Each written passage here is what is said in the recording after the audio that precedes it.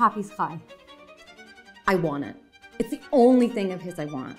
And I'm the only one who this stuff even matters to. Poppy always said I could have it. Poppy's a man, so his things, which are men's things, go to men. This is important to me. I really don't want to be involved. If I marry Melody, she's part of our family. What kind of a name is Melody? I don't know. Caucasian? What belongs to our family will belong to her.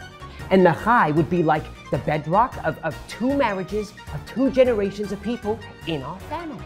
But the onus is on us now, you know?